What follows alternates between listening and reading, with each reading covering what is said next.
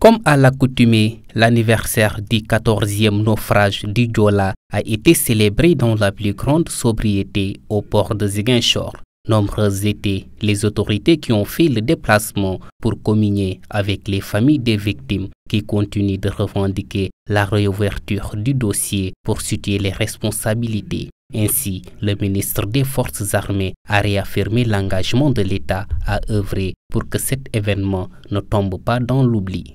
Il nous permet d'entretenir ce devoir de mémoire qui s'impose à l'État et à nous tous. Cet élan a déjà suscité de la part de l'État un ensemble de mesures visant à prendre en charge les ayants cause des victimes du Diola.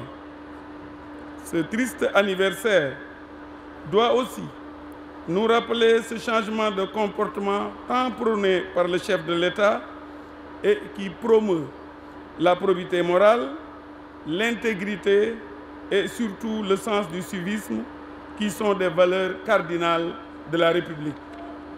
Je puis vous assurer que l'État, conscient de ses responsabilités, veillera toujours à la mise en œuvre des mesures de sécurité et de sûreté pour la protection des populations.